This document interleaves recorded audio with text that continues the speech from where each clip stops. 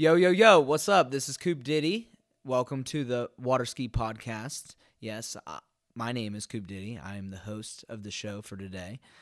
The show name is Learning Water Skiing with Coop Diddy, and that's exactly what we're going to be doing today. Um, I'm going to have my guest on. You may have heard of him before, but he is the founder of the podcast, Matteo Luzzeri.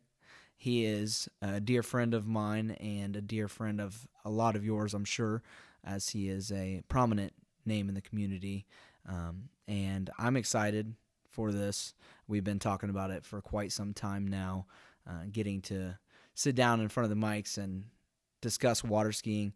It's a sport that I'm very interested in um, from watching him do his work and work his wonders on the water.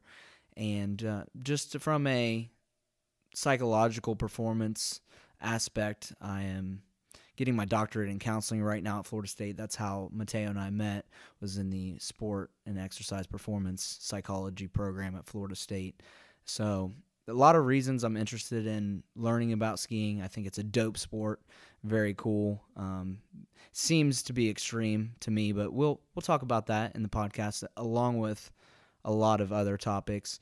Uh, the goal was to discuss water skiing to a novice, which is I, and I think you'll, if anything, if nothing else, you'll get entertained by the podcast. We had a lot of fun with um, with our hour and a half, and uh, I learned a lot. So I'm hoping that some people that are new to the sport will learn as well. And for those of you that are seasoned veterans in the sport, you'll you'll hear what it's like for Matteo to explain some things to a, a dummy. All right. So without further ado, I hope that you enjoy this podcast as much as we did recording it and uh, enjoy.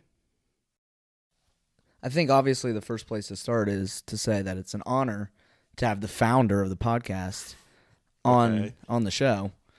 And I wanted to establish before we get started because this is something that you and Marcus talked about in your podcast. I can curse during this. Yeah, right? explicit. Okay. We'll make it explicit. because it's got to be.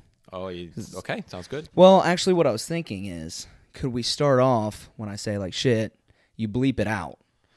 I It's gonna require a lot of work on on me, but I mean, just at the beginning, okay. and then like halfway through, I drop a fuck, and and it just comes through, and there's no bleep.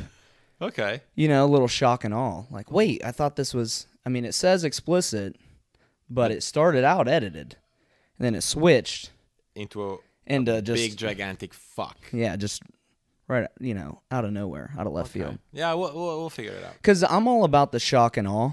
Okay. you know which is i think one thing that drew me to my interest in your sport is i feel like there's a lot of shock and awe in the sport would you agree with that Shock and awe. yeah Can you? when i first went to watch the tournament here at lake 38 i was in shock at how fast you motherfuckers were going like Right, it was right, right. it was unbelievable and i was in awe that y'all can turn your bodies like i don't know my degrees let's see would it be like 120 degrees That'd be pretty. Yeah, pretty ac- accurate. I would say. Yeah, 120. 120 130, Yeah. 130 Yeah, going we're leaning. Yeah. i mean there's some serious lean Yeah, for sure that's leaning. that was the awe Okay. so the shock was more of the speed that you're being whipped around with okay. Yeah. and the awe is wow these guys are able to get back upright after you know leaning somewhat like it reminded me of like you ever seen michael jackson do Yeah. his like dance where he leans like I, he had to have had strings attached to his body You think so? well and then i mean i would assume the same with y'all but Well, we hold on to a string-like thing. That's right? true. Um, they, you know, sort of, you know, swings us from one side to the next, and we're trying to catch buoys. It's a bit different than Michael Jackson, but it's well there's a lot to take in there you're trying to catch buoys yeah. Well, I mean, turn buoys. right? Right. Is that catch? Is that like a uh, inside? No, it's not Insider's an inside. term? No, no, no. Is that just what the cool set, cool kids say? No, no. I was just trying to use non-skiing language. Oh, uh, okay. All right. Because I'm not it- sure. You know, I'm trying to learn here. But I think exactly. I think one of the things that be best is for me to use ski language, Right. and then you ask me, "Hey, what the hell is that?" And Exactly. then we go from there. Exactly. That's why I was trying to clarify about Yeah. catching buoys because I was like, if I go out to the lake and I start saying, "Let's catch some buoys," are people going to be like, "This guy knows what's up"? Well, I mean, yeah, Or they what the hell what, is you're he up talking- to. If you're a ski lake, they don't understand what you're up to. Yeah. So you're, you said you were swinging back and forth. Mhm. So it's like a pendulum. Yeah, it is. It is kind of like so. You saw it. You know, you came to watch a tournament Lake 38, and so you're Two. two. Sorry, I two. just had to clarify. Yeah, two two tournaments. Yeah. Um, so imagine the boat being this, you know, the place where the pendulum string is attached, and the your pendulum being the bo- like the skier. The skier does that motion right six times in order to catch the buoys. So you swing out to the left. Yeah, catch. There's a Sorry. catch yeah, again. I like it. To, is to gonna- turn the buoys. gonna to catch on. Yeah, what I did catch means like it, feel, it almost feels Yeah. like they're they're bowing down and grabbing the Right, ball. No, yeah. no, that's what I mean. You ever want to do that? Sometimes, Really? yeah, sometimes when you're that early and you're like waiting for the ball, it makes you want to just slap it. You know. Just slap it. Yeah, nice, slap a little aggressive. Ever backhand? You ever think about? I'm just no, Bitch slap no. this. Generally, generally it's fast enough to where I go like, you know, forehand. Yeah, oh, okay. Nice little tap. no tap. What know. would happen if you tried to grab it?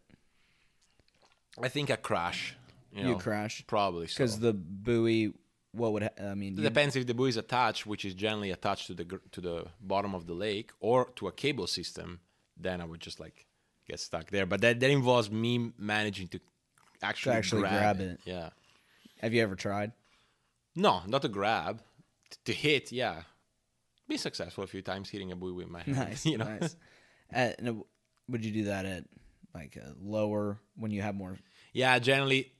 So there's this thing you, you saw like when you're turning buoys, you're letting go of the outside hand and using the inside hand to get a bit more reach to the ball. Right. But one of the cocky things that some people do in the sport, and I, I say I do it too, so I'm Oh, not taking my say out. Yeah.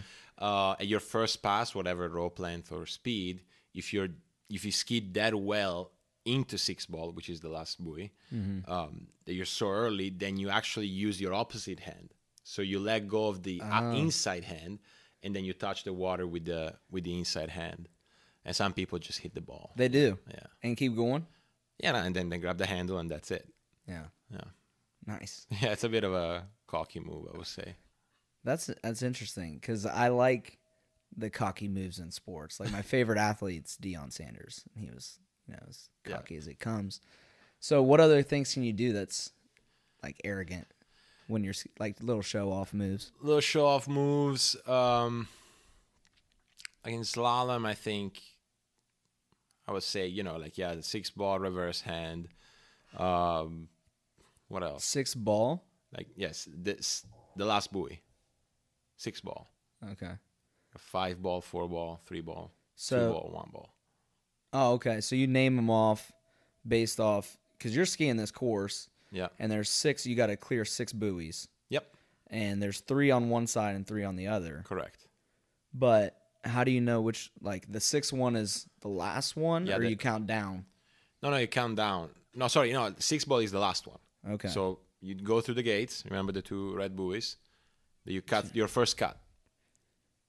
Right. yeah, So but you don't have to go through that. no, you have to go through them. That's an Like- option. No, no, it's not an option. You have to go through. It's like the uh, the white line in in uh, jump in uh, track and field. If you go above, your jump is doesn't count. so if you like, you're like fuck this gate.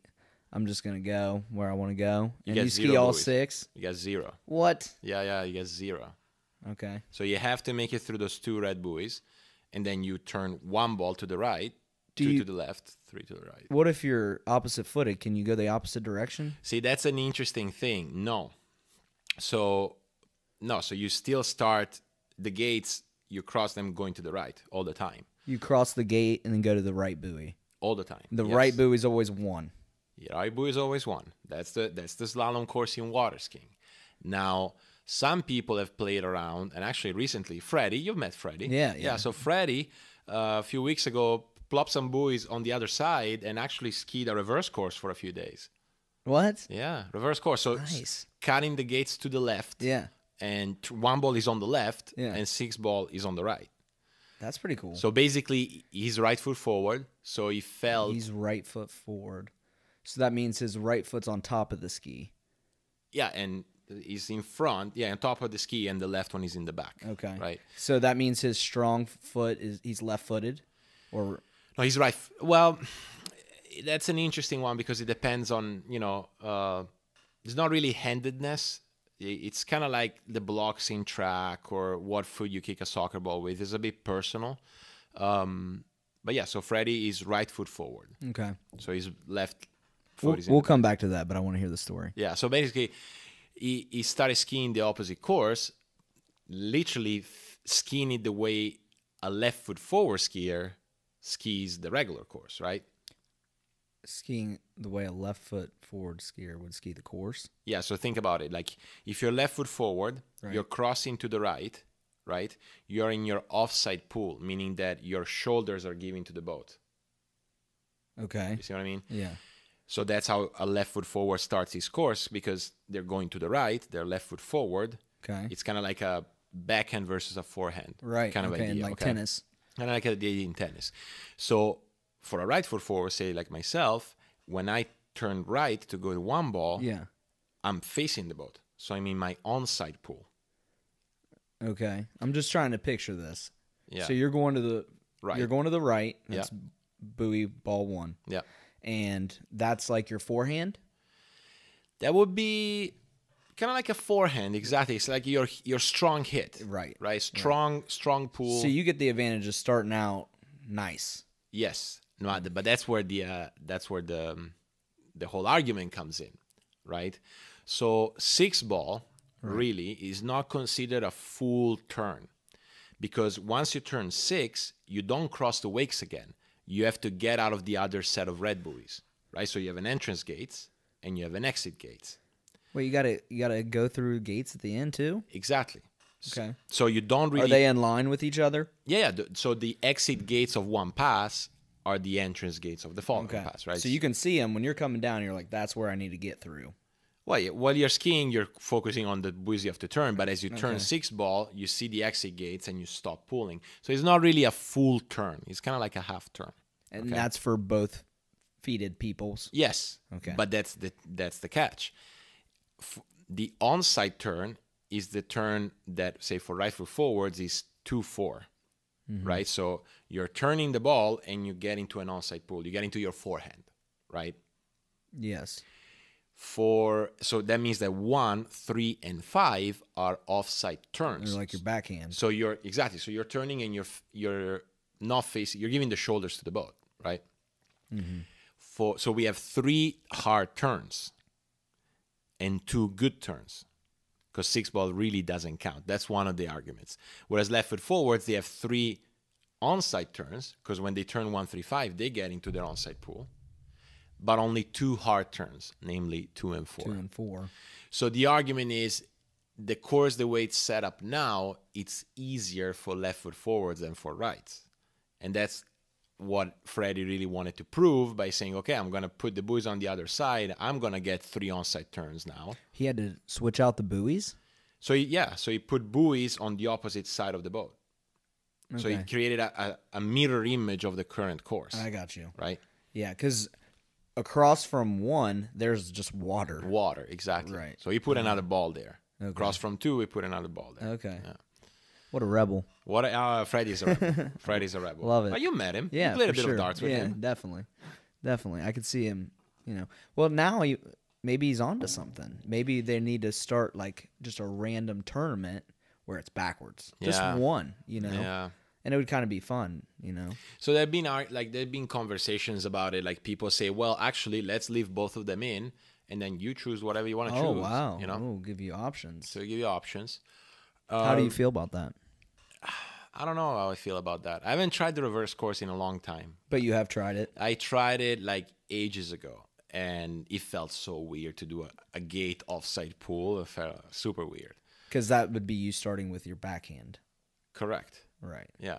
So it felt weird, but hey, Freddie, you know, one of the best skiers in the world, he runs 41 off. He ran. For, he posted a video last week. He ran 41 off on the reverse course. He did what? Yes, he did. He's Wow. a he's what an a animal. beast. Yeah. He's an animal. I can't say I'm surprised. No, yeah, you've you've met the guys. Yeah. Intense. Yeah, for sure. Yeah. So so when you say ran 41 off, Yeah. this is something that we need to clarify. Yeah. Absolutely. Um meters? No, it's feet. So 41 off means, and this is welcome to America. Right. It's 41. Thank you for my introduction to America. yeah, no worries. um, wel- welcome to water ski, like American water skiing. Let's put it this way. but this is isn't this where it started? Uh, yeah, Water ski- 1921 in Minnesota. Yeah, yeah, In Minnesota. Minnesota. Ralph somewhere. It's cold as shit up there. I know, but It had to been in the summer. Yeah, I've been in the summer. I this mean- guy, like snow skier, wanted to do the same on water and figured it out. that Really? You could do it behind a boat. Yeah, That's how it started. that's how it started, Okay. All right. and spread out, spread pretty quickly across the Is globe. there a is there a cross? Like have you snow skied? Believe it or not, I've never snow skied in my entire life, and I live next to the Alps. People Wow. just don't believe it. I know Yeah. it's crazy. I snowboarded, but never Okay. snow skied. Do you feel like the skills from skiing transferred and helped you with s- snowboarding? Uh, yes, yes. Well, I tried snowboarding when I was ten or eleven. Did it a little bit during Mm-hmm. the winter time, and then I started to get pretty good in skiing. So I would travel abroad to water ski in the winter. So my snowboarding Mm-hmm. never really got any good. Like to this day, if we were to go on a slope, I'd be I'd be snowboarding, but I wouldn't be going down fast or do any jumps or anything. Right. Yeah. What if I said, "No, man, let's ditch that shit. Let's let's ski." Snow skiing. Yeah. I don't know, man. Yeah, I, I guess I could. I guess I could try it. You've never even tried. never tried it. Wow. Like the first time I went down on a slope full of snow, like covered by snow, Right. was on a snowboard. Okay. Was on a one board. Do you remember that decision? Like, oh, I'm gonna I'm gonna just do a board instead of Yeah, yeah, of course. Yeah, it was like at the time what wakeboarding was getting big and a Mm. lot of people were wakeboarding and trying to convince me to wakeboard. Oh wow. I know I'm on a set path with water skiing, but when I go to to the slopes, I want to snowboard. I Hmm. don't want the skis. Fuck that. I want to snowboard. What? Yeah, I know. I know it's a bit weird. Yeah. But no reason. It was just like fuck the skis. Yeah, get the skis, I wanted the snowboard. Yeah, and I tried. The, f- I learned how to snowboard actually on the slalom snowboard, which if you ever seen one of those, Haven't. it has the same bindings as a snow ski, like hard shell bindings, and the feet are not parallel. Like they're not like 90 degrees from the slope. They're slightly tilted. Interesting. So I learned on that, and then after that switched to a Were you already slalom skiing? yeah yeah. I was already slalom skiing. You weren't on just two ski. You No. were already on the one. Yeah. Interesting. Yeah. We gotta go. s- We gotta go snow skiing, dude. Have you ever snow skied? Yeah. Oh, dude. Uh, pizza and French fries. What? Pizza and French fries. That's how you snow ski. French fries. Your skis are parallel. Okay. That'll help you move. And then if you want to stop, you hit the pizza. Point those Oh my toes God. together. That So- says a lot about your country, man. Like you have to use pizza and French fries to teach no people how to shit, snow ski. seriously. then I mean, get your appetite going too. you Right. know? Yeah, I guess. Not yeah. only because you're like skiing, but you're also thinking about pizza and fries the whole time. So right, exactly. that's probably their. That's probably why they did that. right. So going back to the off. Right. okay? Yeah, we got and and more maybe a little more of the history, real quick. Um. 1921. Yeah, and honestly, I have a bit of a blur in terms of like 40s and 50s, but I mean 50s is when water skiing really got exposed. You know. Yeah. Um. um, Tournaments were happening. Show skiing was massive. Like you would see pictures of water skiing, Show skiing. show skiing. So like at the circus. kind of kind of like at the circus like, you know they're doing you, you must have seen it before they do pyramids Oh, they, yeah. you know For sure. barefooting in in sort like and barefooting is its own water sports discipline in and of itself. They have tournaments and everything. They have tournaments for people that don't want to put anything on their feet. Yes, they do, and they're pretty gnarly. Yeah. I'd imagine. Yeah, they're pretty gnarly. But like you know, show skiing, Right. and then in yeah, I mean the golden age was probably the '80s it, in terms of pro tour and Oh, wow. exposure on TV was like '80s, early '90s. Yeah. 80s was a great decade, man. Was it? Well, it brought us both into life, so Yeah, that's true. Yeah. that's true. That's true. The golden era. I would say, yeah, yeah. In terms of like exposure to the sport, I mean, I sh- I I showed you a, a video like two or three days ago where like Bud and Coors and Café de Colombia they were all sponsoring the pro tour. Yeah. You know, like water skiers were were making a good living. Well, that that shit was on ESPN. it wasn't on ESPN every pretty- Monday night, prime time. Oh wow. Yeah, And what during the summer? during the summer primarily. Yeah, Yeah. So not competing with Monday Night Football. exactly. Like that was the Monday Night Showcase. Yeah, you see, like uh, your Cowboys were safe in terms of right. competition on, right. on TV time. Yeah. Yeah. America's team, by Yeah. the way. Um, so so 80s 90s it really peaked. Do you know what kind of caused that peak? Yeah, yeah. So basically, um, Mastercraft boats really started to push through to get um Were they are these these boats with engines yeah. like before they were like rowing? No, no, no, no. Like the the brand. Oh my god, the brand itself started to seek out external sponsorship to create a tour that was under their umbrella. So this boat company is Yeah. like, you want you want to make this big. We should get some sponsors for our boats. Well, the tour was the Mastercraft Pro Tour, right? What's the tour? Tour It would be like a like a tennis tour or a golf tour, like Like a tournament. it's a series of tournaments. Okay. Right? With Okay. its own point system and you know, Okay. yeah. And that's the professional tournament, or that was a separate one. No, it was the professional tour. Okay. Yes. And that was called the Mastercraft. Pro tour, yeah. Okay. Um but enough with the history. I think like This is pretty interesting. It all right. it we can come back to it. we can come back to it We can shelf time. it. We You can know, I think it. now you uh, the reason why we wanted to do this was to explain to non-skiers what skiing terminology rules For all that sure. you know. For sure. So we left off with the 41 off. Correct. Okay. Yeah. So in the US, you use rather than saying how long the rope is in feet, which will make a lot of sense, they say how many feet the rope is off a 75 foot line. Okay. I know it's confusing. So there's a 75 foot line, That's the standard line. and that's what you'd start on if you're a rookie. Pretty much. Yes. You'd start on 75 feet. Correct. And that means you're 75 feet behind the boat, Correct. and you're skiing around buoys Yeah. that are how far out? So they are 11 and a half meters from the boat. Okay, okay. I'll uh, put it, you know, ask Siri how many feet is 11 and a half meters. How many feet is 11 and a half meters? The answer is 37.73 feet.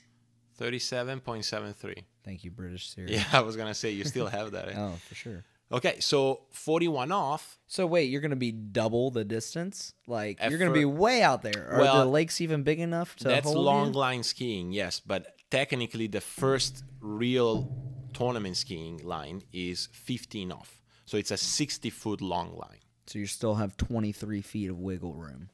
Yeah, which you're making it sound like it's super easy.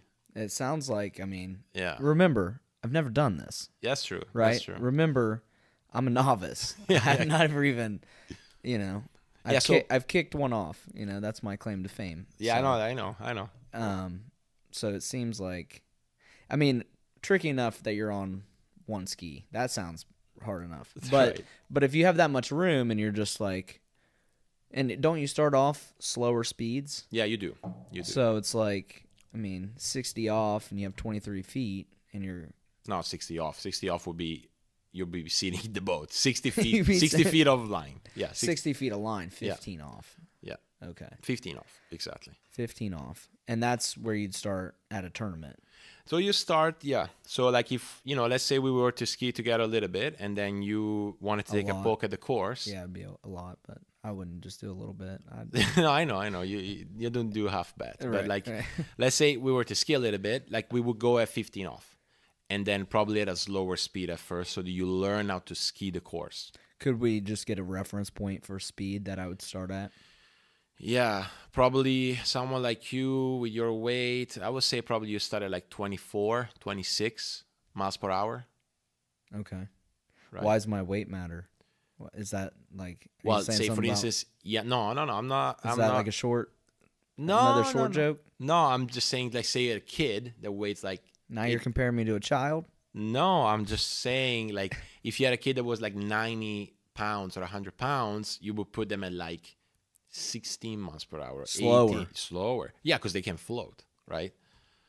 Me and you at 18 miles per hour, we either use a super long ski or we sink, Oh, really? pretty much. Okay.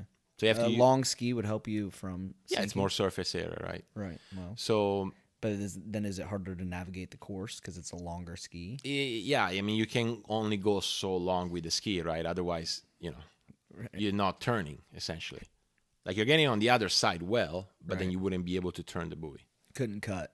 couldn't not couldn't turn and consequently not being able to cut Okay. right I didn't. I didn't realize there was a difference.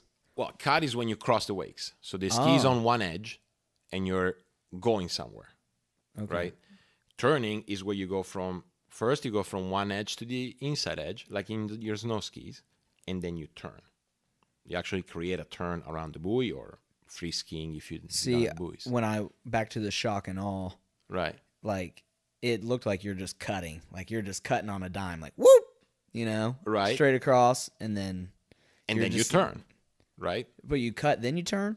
No, you turn, then you cut, is what you were saying. yeah i mean eventually it becomes a, a sequence of cutting and turning right So when you get to one ball, yeah you're turning and then you cut. correct The and the cut process is when you cross the wake. yep Okay. See, I thought you were cutting right, like, because it seems like you cut across. Like as soon as you hit that ball, you're like yeah no yeah, yeah I 90 see what you degree mean. angle, you yeah know? yeah i see what you mean no well not even. the the uh, so you're cutting and then you go from say you're going through the gates so you're on the right edge of the ski right you're cutting water and you're going to the right Right. and then you want to start preparing the turn into one ball.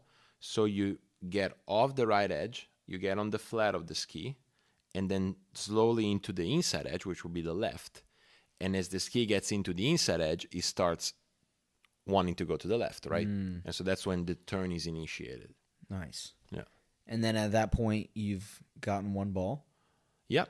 Or You- so you've got because can't you get like half balls and three quarter balls? no and- you can get half or a quarter you can't get three quarter balls. There's no three quarter balls no Oh, it's either quarter ball or half ball Okay, or full balls. or a full ball. exactly. All right. So yeah, so in order to get a full buoy, you have to turn and cross the wakes. Okay. Now So you got to make it halfway to two, you have to make it a little bit over halfway to two. over halfway. Yeah. So if you fall inside the wakes, Yeah. So you lose the handle, say that would be half, Oh, okay. right? But if you cross the wakes and then you lose the handle, that would be one, Okay. right? Okay. You got to make it successfully across the wake. Yeah. You have to. And we're talking about the wake that the boat creates. correct. Yeah. Right. The wakes that the boat creates. Is that ever an issue? The, wakes? wake? Well, yeah. I mean, Because when I was, you know, skiing, like the wake's like, oh shit, you got to prepare for that. Yeah, you know what I mean? You got to, because there's a little bit of a wave. Yeah, there is. Yeah. there you got to go up and over a little bit. Yep. Yeah. So they are. Um, they are one. Actually, that's one of the early struggles of beginning water skiers, right? So, cutting or crossing the wakes, which becomes a synonymous. It's it tends to if your position is not good, it tends to you know make the ski wobble or jump a little bit, Yeah. and that's where people start to freak out, pull the line, and you probably remember what happens when you pull the line when you were learning how to ski. The skis go forward and you fall. Fall right? on your ass. Uh, fall on your ass. Yeah. Or forward, but generally on your ass. Yeah, right. Um, and so We got to talk about falling at some point as well. Yeah, we'll talk about Yeah, falling. No worries. Important. Um, I kind of lost my train of thought here. We're talking about cutting. Right. Cutting and turning. Yeah. And this all stemmed from the length of the lines. Yeah, we, we are going all sorts of way with this length of the line. For So let's talk metric for a second. Yeah. Just I think it's going to be easier for you to understand. Okay. Okay. So the boat goes straight Mm-hmm. in the middle of the course. Right. The pylon is where the rope is attached in the boat. The pilot, Pylon. pylon, Pylon. pylon. Yeah. P Y L O N. Oh, the pylon. Pylon. the Yes. pylon. Pylon. All right. Yep. So the distance between the pylon and the buoy is 11 and a half meters. Okay. Right. Which we said was 37 feet. Correct. But okay, 11 and a half meters 11 and a half meters. for each one. It doesn't one. get like shorter as you go. It's all even. from from the US to China, Europe, everywhere in the world. No, I the mean from course- one ball to six ball. yeah, it's all the every same. every Yeah. ball is always 11 and a half. Correct. Okay. Correct. And the rope, the longest that, that you use, which is the 15 off, is 18 and a quarter meters. Okay. That's nice, even number. Go on. 18 and a quarter. Then you go to 16. Oh, okay. That's even. Yeah. I like then you go to like 14 and a quarter. Okay, I'm sensing a pattern. 13 meters, Okay. 12 meters, 11 and a quarter meters. So 11 and a quarter is the first rope length where you're a quarter of a meter short compared to the ball. Like you got to be Stretch Armstrong. You're gonna be Stretch Armstrong, and you gotta be like having the speed and the skill to keep the ski outside while not falling, right? Sure. Yeah, to make that turn Turn exactly. so that you can make the cut across the wake. And Look at me. Look at me. yeah. next turn, yes. See, this is that the hype. I told you it's gonna be getting hype. There you go. There you go. Learning is fun. Good. I'm glad. I'm glad we're. Yeah. I don't know what anyone is gonna learn out of this, but you know, at least you're learning, Right. And we're recording. That's right. You know, That's so. right. Yeah. Um, so yeah, 11 and a quarter, then 1075, so 10 and three quarter meters. So now you are, So that wasn't a small. That was a smaller change. That was a, yeah, because you're getting to the limit, right? right. Then from 10 and a, 10 and three quarters to 10 and a quarter, 10.25 meters. That's the 41 off, right? Forty-one off is ten and a quarter. 10 and a quarter meters. Okay. And then 9.75 meters. Now you are a meter and 75 shorter than the distance between the pylon and the buoy. Right? So Damn. the world record currently it's two and a half buoys at 975. Two and a half buoys. So didn't make it across the wake, but Correct. But got the ski out Got- and actually got a, a half a turn into it and then fell. wait, got a half a turn into it. So he, the ski was outside three ball. Okay. The ski started turning. Because they already got one ball and two ball. Yeah, yeah, they got so one they were back over to three. back over three. Ski was outside of the buoy, Yeah. started the turn, but then couldn't go across the wakes. Hmm. So it was two and a half. Yeah. Okay. Wow. and just to give you an, an understanding of how exponentially harder it gets Yes. and that's why the the differences in lines are that small when you get that shorter Right. you know what i have to pull out the numbers but maybe there's like 150 to 200 people in the world that can run 38 um, 11 and a quarter like n- right now 2019 Oh, that okay. Not in the history of the sport, no. no. but right now, currently, that could go out currently and do it. 2019 there's probably around nearing 200 people in the world that can successfully run Wow. a um, 11 That's and a very select group of people. right Yeah.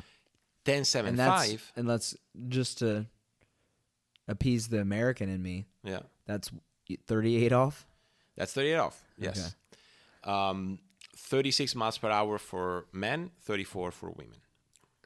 What? What? How? So the boat- 36 miles an hour? The boat goes at 36 miles per hour for men and 34 for women. That's the max speed, right? Wow. Once you run the course at 18 and a quarter or 15 off, Yeah. at your max speed, which will be 36 for us, 34 for a woman, Okay. then you can start going to the 16 meters, to the fourth, you know, So you got to work your way up you got to work your way when up. When you're starting You got to work your way up. before right? you can even start cutting any line. Yeah, and that's a big moment in a skier's career when they get to shorten the line for the first time. Oh wow. Yeah, it's big, big moment. So, so yeah, back again. 200 people in the world currently run 38 off, 2019, say. Yeah. Uh, 39 and a half off, or 10.75 meters. I would say there's about 35 guys in the world and about four women. Whoa. Okay. Wow. 10.25 or 41 off, 11 people in the history of the sport ran it. So you see how exponentially harder it becomes Well, I mean, eleven people in the world in the history, in not the history. not not in but 2019. you've done forty-one. I haven't run it. Now we're talking about getting successfully six buoys, not just Oh, a few buoy. okay. When I say run the pass, means you got the six buoys with the Oh, gates. see, this is that um that terminology yeah, again. r- exactly. So, so running the course doesn't mean like uh, you gave it a good college try. No, no, no. and you, got a couple. You ran that shit. No, No, no, no. like you got to run that shit. Like Yeah. you got to go all the way through it. You got to get through the gate too. gotta get through the gates. Both of them. You gotta do well one at first, then do the six Right. buoys, and then get through the other one. Yeah. Wow. Yeah. Eleven. 11 in the history of the sport. And I imagine, based off the conversations we have had in the past, that it's people recent. Well, somewhat, yes. So the first one that was ever ran was by Jeff Rogers in 1997. This is a this is um appealing to the history part of the Yeah, sport that exactly. We're going back to that. Yeah, yeah. yes. We'll, we'll edit it out. We'll, we'll do a little work. So Jeff Rogers, first No, this got to be raw and uncut, bro. This shit's got to be raw. well, I mean, that's how I do my podcast, and I just hit record, Yeah, little hell- cleanup, and Uh, then. oh yeah, oh yeah. So yeah, Jeff Rogers, first one in '97. Latest one to run it, I believe, is uh, Robert Pigozzi. Last year, Oh wow, so that was the 11th. Yeah. wow. Um, Did the homie Freddie has he done it homie Freddie has done it. Yeah, yeah. Yeah, He's done it this year actually a Wow. few times. Yeah, a few times? not the first time, but he, he's he's ran 41. Now, handful of after you do something like that, do you flex? Like, did he flex for, like for the crowd? I hope Freddie flexed. Well, Freddie fist pumps. Okay, fist pumps. Freddie fist pump. Yeah, he, he did fist pump. Yeah. I like that. I mean, it's, that it's a works. big achievement, you know. Well, I'd say that's why I thought it deserve a flex. Yeah, I know. It's a bit different in skiing. Yeah, But um, understandable. but uh, yeah, so 11 people that ran in the history of the sport. Wow. You know, so like that shows you how much harder. And then if 43 off or 975, the vast majority of people did one. Some they people ran got it once. No, they got one ball and couldn't get to two. Oh wow. So that's how to the limit of human. Yeah. You know, Well, I'd assume like if you're a couple meters short, then you got to be a couple meters tall. yeah, yeah. Right. In height helps. I would Height- imagine. Height helps. And like long arms. Yeah, reach. Re- So like, Reach. do you have any practice where you like put your arms in like a machine and you like run away from it to see if it'll No. stretch out? No, that's water skiing. That's what you do through water skiing. You Oh, get your arms like super long Nice. Yeah, just from the sheer practice. from the sheer practice. Okay. Exactly. All right. No machines. No machines. Because machines. I've considered that for making myself taller. Yeah. You know, a little stretch machine. Why did you, or- Why didn't you do that? It seemed freaky, man. Yeah, I don't know. exactly. so what the hell?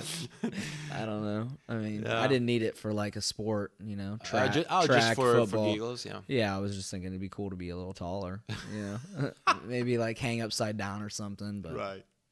I don't know. Um, so yeah, so yeah, that's that's how tough the the sport is. So we're talking forty-one off, because I mean that's what a lot of people. I mean, there's a lake here in Tallahassee. Lake it's called 38. Lake Thirty-Eight. So I mean, if we keep talking meters, people might get confused. Yeah. we got to kind of go back and forth. With feet, yeah, I don't because. Th- this is the lot, you know, metric, and then you know, America's just not with it. I know. This is me right now campaigning for America to go metric.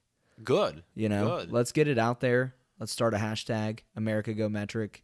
Nice. You know, I mean, Yeah, I think I think a lot of people will get behind it. let's do it. I think there's maybe bigger problems to deal with, but also there certainly, certainly are, but uh, this is the one I'm on right now. the one you're passionate Yeah, about. maybe next podcast we'll get on to something else, but right now, America Go Metric. Okay. Hashtag it. Okay. and uh, I'm because I'm still a few years away from being old enough to run for president. So we'll start small, What? You gotta be an age? 35. 35. Yeah, I didn't know I that. believe John F. K. John F. Kennedy JFK. There. JFK. Was the youngest president, I Uh-huh. believe. Okay. Yeah. Bit just- sidetracked. Sidetracked, but I mean, it's good to know. Well, speaking of 35, um, at 36 years of age in water skiing, Wow, this is excellent. I like this. Go on. um, actually Impressive. for Nice men. Yeah. the boat doesn't go at 36 miles per hour anymore. It goes at 34. So, okay, what at 36 years old? Yeah, so when you So- hit 36, you can choose to ski what we call senior men. But then you're not a pro anymore. No. And what's that mean in the water ski world? See, that's interesting because like some people uh, criticize that. They say, well, you're 36, you're still competitive in the pro tour or like at world championships or stuff That's like not that. old in the water ski world. What is it? That's not old in the water ski world. No. Like 36 for an NBA player is like, oh man, you're getting up there. Unless you're like LeBron. Yeah. You know? Yeah. I would say you're Or I mean- f- like football, there's no 36 year old players except for like quarterbacks and kickers. You know? Yeah. Now in water skiing, you're yeah you're on the older side, but you're not like old. Still competitive. Yeah, you can still be. I mean, super competitive. Yeah. The guy that finished uh, second in the pro tour this year is uh, 38, 37. He finished second Yeah, in the pro tough- tour, in the whole tour of the season. which means that he beats. Like, how does that work? How how do you? Okay, so the what we call currently the Pro Tour, which is not really a tour in itself, but it's um it's a collection of tournaments that give out a cash prize purse, right? And according to the there's a there's a point system uh, that the International Water Ski Federation created that is correlated to the money, right? So the more money you give out in that tournament, the more points you give out. Okay? Okay. And then it becomes a question of collecting points. So, you know, say that I go to a tournament that has a total purse for men of 12 grand and I win, I get 240 points. Okay. If it was a tournament with more money, I would get more points. Is it always like e- like if it's 12 grand, it's double the like? Because it seemed like that was. yeah. Yeah, it's was that just like by chance? No, no, it's not by chance. Yeah, Okay. no, there's a formula that, Okay, that you know puts it together. But um, so yeah, you collect points, and whoever has the most points finishes at the end of the tour. And So I'd imagine, not to cut you off, but Yeah. I would imagine that the more that you ski, the more beneficial that's going to be for you your placement. yeah, of course, yeah. Al- Although uh, the way it works is that I think it's half the tournaments. So like this year, for instance, there were twelve pro tour pro tournaments in men's slalom. 12 all year long. 12 and they take your top six placement points Okay. right and that's your ranking Because like you're getting your doctorate, yeah you can't go to all 12. no That's just not feasible. So somebody that could do 12, they're not going to have an advantage because of the fact that they've done, you know, six more, eight more tournaments than you. No no mathematically no Right. like Because they mean, just take the top six. if i do six and you do nine Right. we're still counting on six tournaments Okay, now of course you doing nine you get a better chance of placing higher Right. and then improving your six right Sure, sure. um But it's not like all nine of mine are counted against No. your six. no no it's Okay. the i think it's half of however many they have Okay. So I think yeah, I think that's how it works. So if we had ten, it would be five. You know, Right. Oh, so it's not the same number every year of That tournaments. no, it depends on the number of tournaments. Oh, they're not set like because I've I've heard you talking of like the Masters. Yeah, That's a pro tournament. that's the like the our Wimbledon essentially, like the most important pro tournament. Okay. Yeah. You could have went with like the Super Bowl. You could have went with the World Series. Nah, yeah, Could have went with the NBA Finals. I'd rather go with an individual sport. You know, it's an individual sport. Was prefer Fair to enough. give. You know, Fair enough. Okay. yeah. But uh, just just pointing out that was an interesting joint. Wimbledon. All Okay. right, All right. Yeah. Well, I mean, we have the Masters, the Moomba Masters in Australia. These tournaments have been going on for decades. So those you can count on. They're Yeah, going to be part of the they're gonna be ten or twelve. Yeah, they're gonna be there. And then it's just a matter of Whoever pulls out the other one, you know. Like is there a limit? Not that I'm aware of. No. Okay. But um, but yeah, the other big one that's been happening for a few years now is the Malibu Open. the one that I went to ski in Charleston a few yes, weeks ago. yeah, yeah. Uh, and then it's other tournaments, like you know that I've been organizing one for six years, and there's been other efforts in Europe and here in the U.S. Keith does one here, you know, Right, Lake 38. right.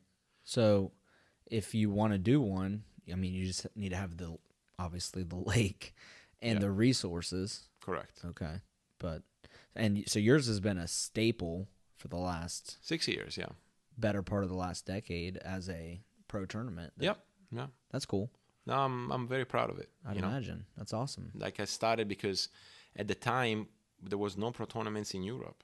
Say what? Yeah, there weren't there weren't any for a few years. Like in the 2000s, there were some, Yeah. and then 2010, 2011, there was nothing. What? Oh, that's interesting. I would have thought there would at least been one. Well, no, they, they've been there have been up until then, Right. And then there weren't any, Right. And then in 2014, we organized one, a small one, Mm-hmm. um, and the hope was to grow, like you know, to make it grow to become a full-fledged pro tournament with 12, 21 grand, and in the hopes that someone will get inspired in Europe and say, "Hey, these guys did it. Hopefully, we can do it too." You know, and Mm, it, cool. it pushes the sport forward. Right. And last year, sorry, this year, we had six pro tournaments for men's slalom uh, in five weeks. Say what? Over there, See, there were across the pond across the pond. in Europe. there were two in France, back to back. There was one in Spain. Then there was ours, That's what's up, man. and then there was one in France during the week, and then there was one in um, near London that weekend. That's impressive. I- It is. It's pretty cool. you know? Very. So is that feasible to like ski all those? Well, uh, it, it was challenging. I didn't ski all of them because obviously having to organize one, I Right. was, you know, You had shit going on. triggering on. Yeah. But um, but no, some skiers skied all six. Wow. And and, And- how many weeks you said? Five. Five. Five weeks. Yeah, Six pro- tournaments. Six tournaments. Yeah.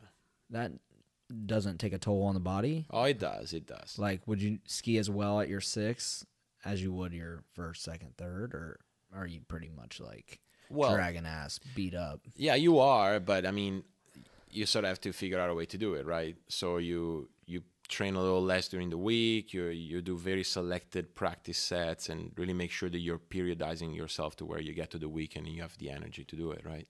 Well, I mean, I imagine that it takes a toll not just on your energy, but like, doesn't it physic? I mean, I've seen people fall.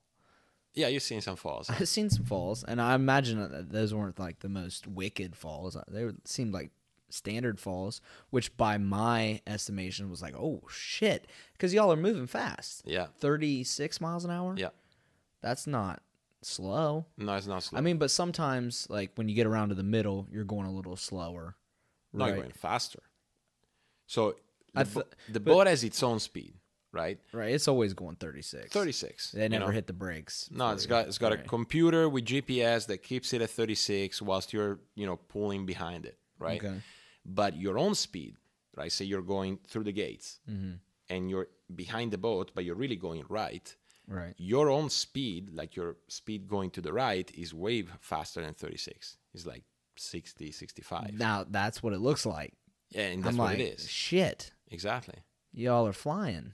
Then at the ball, you slow down a lot. Right. That's where you said like sometimes you get slack Exactly. and then you might just sink Yeah, into the fall. water, right? Yeah. Or fall. Well, yeah, you might fall. Well, yeah. I've, I thought I've seen people just like sink. yeah, that, Like, isn't that depressing? Yeah, it's like oh shit. Yeah, no, no. it's like they're in quicksand or something. yeah, exactly. That's when you're turning, you lose the handle, and you just like gently sink like and bye. yeah, yeah. That's where that's where your emotions also go with you. yeah, you know? I'm sure. Um, But you're going slower then. yeah, yeah. So your own speed Right. goes higher behind the boat and slower than at the ball. Higher behind the boat. So you get a lot of G forces into the, this whole thing, you know, Yeah. and that's why you You're have pulling to. a lot of G's. You're putting a lot of G's. Yeah. So that's why you have to be like really good. You have good position, good technique to be able to absorb all that force. You know. Right. Wow. Yeah. Is it better to go faster? Like the person that slows down when they turn 36 are like, yeah, this boat's too fast for me now. I'm 36. I'm old. It's time to go slower. I'm gonna Oh. go 34. Oh yeah. Does that yeah. make it easier? Yes, for sure. It makes it easier. Well, think about it. Like the buoys are at a, at the same distance between the boat, but they're also the, the same distance amongst themselves, right? right. So the slower you go, the more time you have to get to the other side, Okay. right? That so that's why going slower is easier, Oh, okay. right? Yeah. Because I was thinking, like, give me a few more miles per hour so I can get through this thing a little faster. Maybe I'll just whip through it and then I'll be No, done. no, it's not like that. So you wouldn't want to be like, yo, man, give me 37. For no, This one. no, No? that that doesn't help. no, not at all. That's- now give me thirty-five. and a That's going the half, you wrong know? way. exactly. Going the wrong way. Okay. Slow down a little bit Yeah. Do you think you'd be able to tell if the boat was like 37? for damn sure. Really? One mile an hour? You'd be Oh, able to tell. I would tell be like, like, this shit's going way too I would tell you fast." like 0.2 miles per hour. say what? Yeah, yeah. You, you well, you know, For real? how many tens of thousands of turns I've done in my life? You know, A so lot, dude. so I would be able to tell. You know, Yeah. it's like for you, you've been you know lifting weights for a lot of years. Right. If I put like you know even just like a two and a half or a five, you're gonna feel it. I'd feel it, but I'd still do it. No, of course you still yeah, do yeah, it, I mean, but you you yeah, I feel mean- it. I won't, Right. you know, Right. but you will, Yeah. right? Yeah. So um, Wow. yeah, The women we've mile been an- going 50 minutes. I, I think yeah, this is good. Yeah. We should make it like um like a consistent thing. I'm down Yeah. because I have a, a bunch of things to ask, and Oh, you know, how many do you go through? Like, check your list. I've I've I remember asking one question. That's awesome. Yeah, I've asked one out of all the questions that I have. My my first question was, can you ski with one leg? yes, Tell me more. meaning Because it's a slalom, you Yeah. know. So I'm thinking it's one ski. Mhm. Could you use one leg if you wanted to? yeah, you could. You'd be making it way harder for yourself, right? Really, you tried it? Yeah, actually, I my coach used to make me do it as um as a drill. Interesting. Yeah, well, obviously much slower speed. Um, So like 35. no, no, like 22, 24. Okay. You know, Okay. um, and you're so your right foot back, left foot forward. Your left foot forward, No, I'm right foot forward. your right foot forward, left foot back. Correct. You're left footed. But we did. I don't know if I'm left-footed, but we, God we it, talk in water skiing. We talk about what the the foot that is front, like the front foot. Okay. So have I'm you right ever done forward. track? Yes, You ever came out of the blocks? yes. What foot was forward? Forward was right. Oh, interesting. Okay, because I was I'm left foot forward out of the blocks. Okay. I and explode off my left foot and when you drive had your- hard with my right. well, when you had that momental momental moment in your skiing where you kicked off, which ski did you kick off? I kicked off my right. Yeah. Yeah. So you're left foot forward. Yeah, but then I crashed. Well, I mean, uh, okay, but you know, I mean, pretty soon. like it was short lived. I, I mean, I, you say momentous, but it, I remember smacking. the- Oh, yeah? you know, so you never got a chance to actually ride one ski. I rode it. yeah. Yeah, for a few seconds. Okay. Yeah, I never crossed the wake. Oh yeah, yeah. Okay. You know, I was just. I might have smiled. you know, At the time like, to smile like, it was like smacking. shit. Yeah, like, Right. yeah. How long ago was that? That was twenty years ago. Oh wow. I mean, yeah, I was probably eleven. We need to get you back, man. I want to. I want to. But I mean, your process with starting a new skier, is it generally the same as how other people do? Or I mean, if like you know, I'm new, let's say somebody else that's listening to this is new, Yeah. never skied before. Is it and they went to they heard this, they were inspired. They're like, I'm gonna go try this shit. Yeah. They go to a lake. Would they start them the same way that you would start me? Is it generally the same kind of yeah, I would say the traditional way you put someone on two skis, Okay. right, and you teach them how to get out of the water. Like that's one That's of a challenging things- thing Yeah, that's one of the things that it's very particular about water skiing, like or Right. wakeboarding. Like you're in the water, you got to get on top of it. Exactly. Right, Yeah, it's whilst challenging. the boat tows you. tried yeah. it so many times with one ski and it's just so swirly, Yeah. swirly. Like Yeah, I can get up with two, no problem, right. but one, it's just like So yeah, you you start with two, Right. Then you you know, hopefully you start crossing the wakes a little bit. You know, you you feel your way behind the boat. You learn how to feel the rope that is pulling you. You know, Mm-hmm. and then eventually you do some prep exercises to see which foot you might be forward. Now, some people try water skiing and they are, you know, they've already skateboarded a lot, snowboarded a lot, like a lot of board sports where they had a foot in front, a foot back. And although that's not 100%, but 90 plus percent of the times, that's going to translate into what foot you have in front for water skiing, right? Okay. Because when I snowboard, my left foot's back. Hmm. Okay.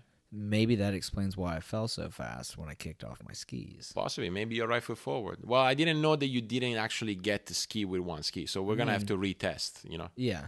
And it's been so long. I mean, I know, I know. know, two decades. Two that, that's a lot. That's a long time. It's a long time. Yeah. After that, I was like, fuck this. I'm just doing two. Because I didn't go to the lake that much. Right. So if I went, I wanted to have fun and Yeah. like skiing on two, crossing wakes, trying to, you know, hurt Yeah, fun. myself. It was a Have good fun. time. Yeah. Yeah. So no, I guess that there's a standard way to do it. Now, what I really find super exciting is that um, HO Skis came out with this big ski. I, I'm talking like it almost as wide as a wakeboard. It's called the Hovercraft, and we launched it last year, and it's so damn easy to get out of the water with this thing. is unbelievable Is it a slalom? it yeah you have your feet one behind the other like in a, on a slalom ski but it's as like i've never seen anything this wide That's and, we- brilliant. and it's brilliant like you can literally get anyone out of the water with that thing. Nice. and that makes a difference right because Well, yeah. what about you you said yeah i tried a few times Yeah. fuck that shit i'm You're gonna go with two skis because i can get out of the water Exactly. so i think that ski is gonna um, i- i- it's gonna break through something you know like Yeah. ski school any ski school should have one Do you, do you have one yeah we have a couple at the ski at school. Lake 38? not at lake 38 Well, because I'm. I mean, I want to come out to Jolly, yeah but I mean, it's not going to be anytime soon. I, Lake 38 would be much Yeah, quicker. we'll we'll get you out with one ski, man. Don't worry. Well, even actually, without the say- over one, the actually- overboard. Yeah, without the overboard. You know, You're confident. I'm confident that you'll do it. I mean, you're athletic, you're, you're Mm-hmm. You. strong. You. know. Yeah. Well, so strength matters because that excites me. My eyebrows went up when you said that. Yeah, well, it matters because you know, like the at first you don't have the technique, so sometimes you can compensate a little bit with strength, but then the better you become, the less you need strength. Oh, right? wow. Yeah, that's the idea. It's like, is there a point to where strength is like, no, this ain't good? I think so. You try to over. I think I think in in slalom, um, like you don't have to have strength. You have to wait a little bit more, Mm-hmm. roughly speaking. Right. Um, and yeah, probably that's not the best. And I'd imagine you're more dense, so you'd sink. Or does that not matter? Because you're, doesn't going matter. You're on top of the water. You're going 36 miles an hour and you're flying through. You're barely even touching the water anyway. Yeah, but obviously, as you're slowing down, the heavier you are. Provided all things equal, the heavier you are, the quicker you slow down. That makes sense. Yeah, but then it's not, that's not necessarily good. Right. You know, Yeah, you So- wouldn't want to. you don't want to slow down too quickly. Right. Yeah. Yeah. But uh, no, dude, I say the next episode is gonna be after you've tried to ski again. You know, Okay. and we'll get you I, back on the I like podcast. how you're you're putting this on like now it's cemented. Like it's a plan now. Yeah, well, it should. It I should. mean, there's a there's a, a few hundred listeners that are gonna expect to hear Right, how I'm saying. set No pressure, Yeah, you no know. pressure. right. You know. Well then I'm gonna get up, damn it. No, you- Do you um some people I've seen like teaching wakeboarding and um like up in Ohio, they had the uh they had a little stick, like a little like a boom bar, yeah, on the side of the boat. Yeah. Do Yeah. you or do you like those? Do you believe in those or We have that at our ski school at home. Yeah. Uh, we use them. we're I mean, Jolly, right? Jolly, yeah, Yeah, in let's, San at least let's say the name. I mean, Yeah, let's yeah, put it out there. School, yeah. Why not? You know, Yeah, you know, it's good to say. yeah, Jolly Ski School. Beautiful. Um, so we have them. It gets people out easy, but right. I don't think. that's what it seemed like. but I mean, don't think it teaches you how to get out of the water properly. At the end of the day, you gotta learn how to have the rope and not pull. You know, like you're holding your hands to the side. Do you see? I always try to take it. I oh, I remember when I was trying with one ski, I would try to take it straight on. no, you have to take it straight. I don't know. I just we're sitting at a table with a chair. man. Okay, I just didn't know. Like, I'm, No, no, straight, I'm straight. trying to learn. Straight. Okay, you do you come because I would just take in f- like heaps of water. you know, No, dude, we'll get you out. We'll get you out, and then I thought maybe that's what I was doing wrong. Maybe I need to come up at an angle. no, no, no, you come out straight, Okay, straight. yeah, I'm starting to have some flashbacks. Coop. taking in straight water. What did you learn? Do you know? Do you what? What did you learn after an hour together talking about skiing? I, I don't think. have Learned you learned lot. anything about the sport? I've learned a lot. Okay. Are We've clarified a lot of with like the big thing was really trying to get down the distances. yeah, So I hear all this about 38 off and 41 off, 22 off. for sure. Right. And I'm still interested more about the scoring, the professional side of it. Okay. Um but I mean, that was good insight into I didn't know. I thought there was a set number of tournaments every year. Well, they, they tend to change. You know, that's Right. why our tour is not that. Uh, the professional side of our sport is not as solid as it should be. Hmm. You know, But it was at one point. it was at one point. Yeah. Yeah, and we're trying. I think things are on the upside in the last two years, but hopefully we can continue to. to What do you that. think's what do you attribute that to? I don't know. I, I think it's a long conversation, but a, a number of factors. You know, like uh, people like myself, kind of taking the bet and trying to organize these. Yeah. um, I think more people that used to wakeboard or used to think that wakeboarding w- was where he's at, um, particularly people like over 40, you know, that, you know, when you fall you're in wakeboarding, you risk a few injuries. Because both why? Well, wakeboarding, you've seen wakeboarding, I was right? about to say because both feet are on the same board, but the same is true with slalom. Yeah, but they, you don't release from the board in wakeboarding. In water skiing, you release off your ski when you fall. Oh. So you got that, and also they're going way higher, right? They're jumping off a wake. Like the boat is completely different, and it creates a big wake for them to launch in the air and do Mm. Oh. their spins. Gotcha. Uh, in water skiing, we're the opposite. We want as little wake as possible. Mm-hmm. So part of that is like there's more people going back to water skiing. Not the numbers are not nearly as high as wakeboarding, but you know, I think th- there's a lot of reason why things are on the on the upside, and I just want to see them continuing that way. No doubt. And I think that may be distant future podcast. I, I'm interested. You said it's a long conversation, so Yeah, no, no, maybe we'll, we'll, we'll have it. We'll have We'll that talk. Yeah. Because I'm I'm curious about the history, and that's obviously part of the history, recent history, but it's still Yeah. part of that history of the sport. Yeah, no, we'll talk about it for yeah. sure. Well, what do you think? I think that um, I mean before we wrap up, I just wanted to do. Are you ready to wrap up? No, no, I'm just checking in with you. Okay, because I do have something I wanted to do before. Let's do it. Um, just quick word association. Uh, that's the psychologist in you. Okay. So I say a word, Yeah. and you give me. I mean, Sounds good. it, I'm the host, so I could pick, but you're the founder, so you can either give me a couple words or one word. Got it. Up to you. I'll try my best. All right, first word. We'll start off with a softball. Ski. Fun. Oh, that's that's awesome. That's the first thing that comes to mind. Yeah. Yeah, I mean that's that's uh, why I'm still in it, you know. Yeah. If it wasn't fun, I don't think that I would be in it after all these years. Do you feel like most people feel that way? Most of the, because you're a professional, Yeah. right? Do you feel like most professionals feel that way, or do you think some people are in it because of other reasons? No, for sure. A lot of people are. I mean, a good number of people are in it for other reasons. I'm not here to judge them. Right? you No, know. no, not at all. Um, I was just curious if you felt like that was kind of a consistency through the sport. I mean, I know? think the sport is really fun, and that's what a lot of people that get a, that approach it at first like say right away. You know, like you're going fast, Yeah. on top of water. Right.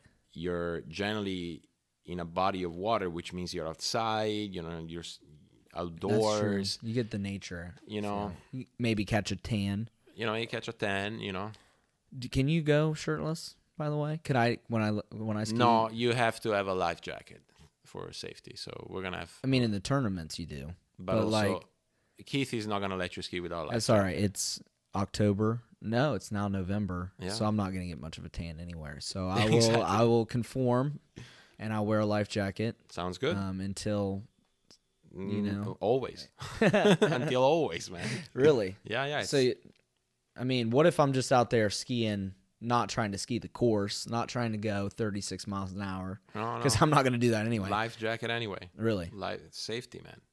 safety over tan. Safety over ten. You can take the ten after you ski. Yeah.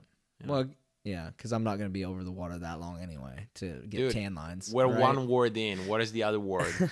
Okay. All right. Yeah, because I got a list here. Boat. Boat.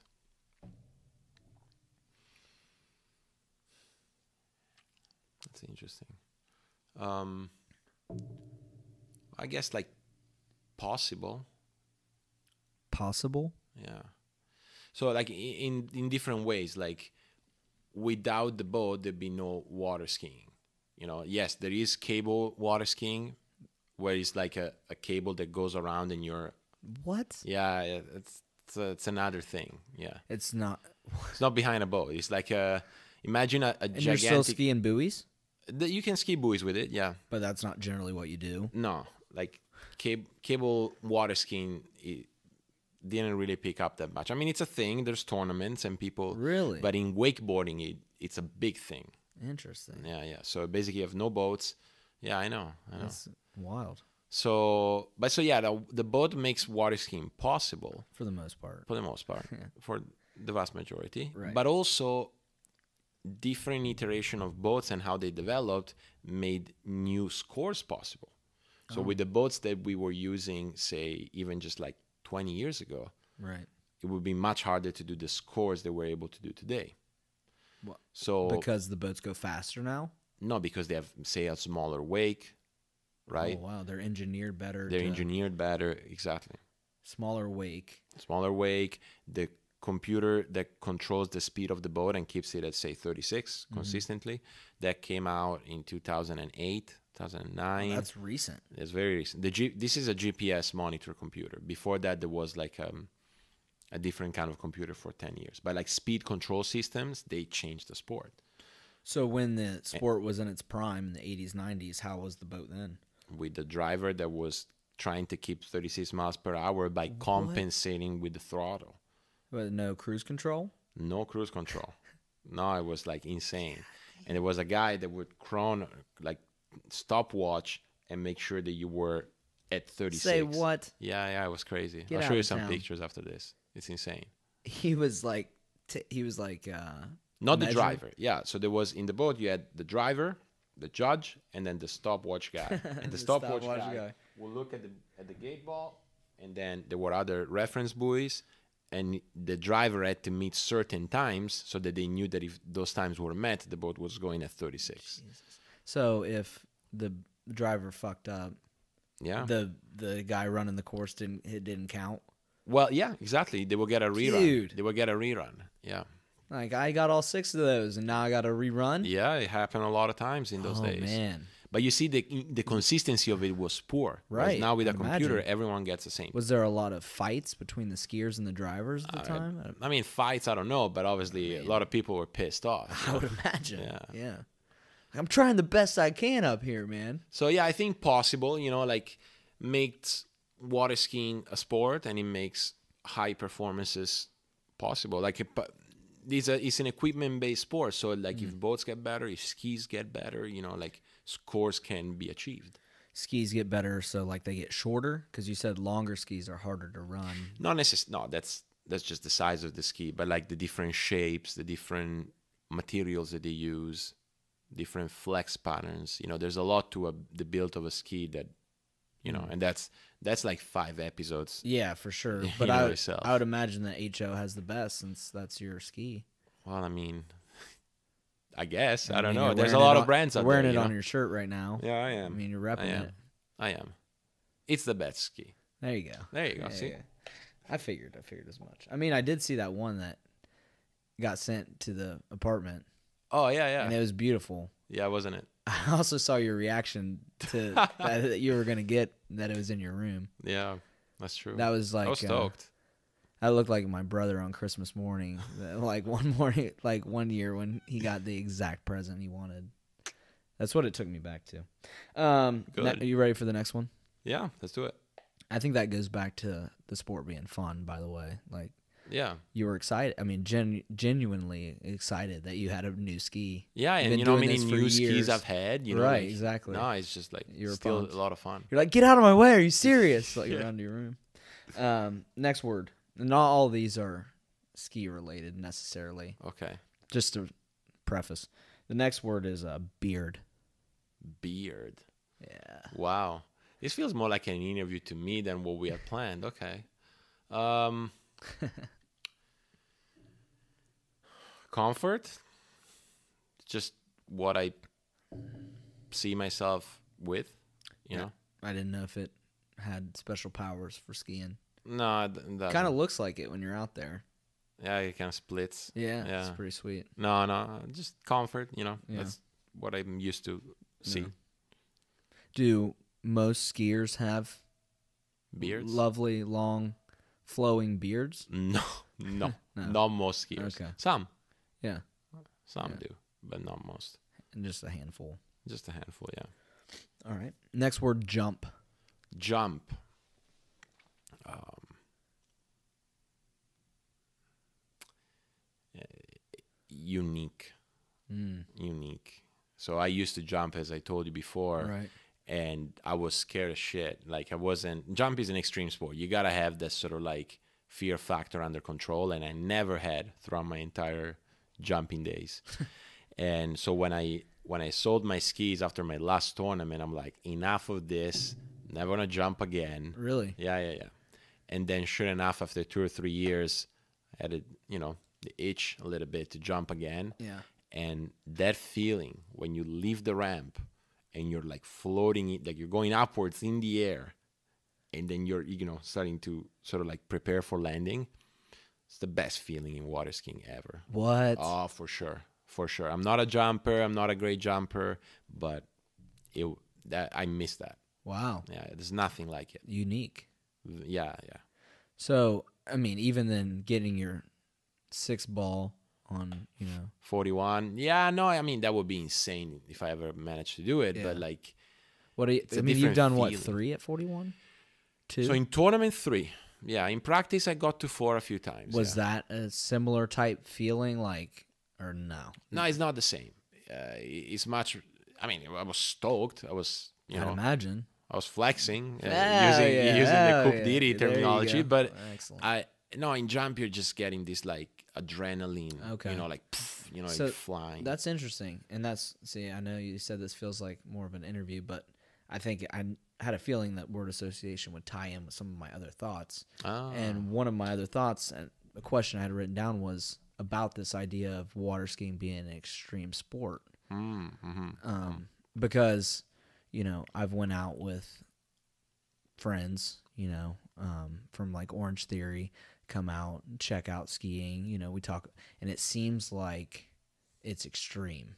Yeah. I mean, because we've never done it, you're flying around that course. The shock and awe, kind of going back to where we started, it seems like it's an extreme sport, but you just said, interestingly, that jumping is the extreme sport. Yeah.